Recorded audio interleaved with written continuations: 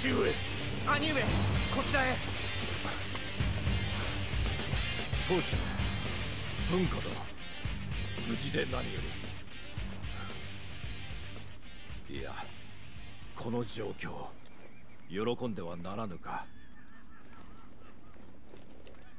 商海殿が蜀の残党と手を組んでいたと。は早く芝生殿にお伝えしなければ文王殿申し訳ない。自分に危機を知らせたがために。いえ。あの時父文金を揶揄されて思い出しました。人の野心とは恐ろしいものだと。行きましょう。少子として正しい道を進むために。うん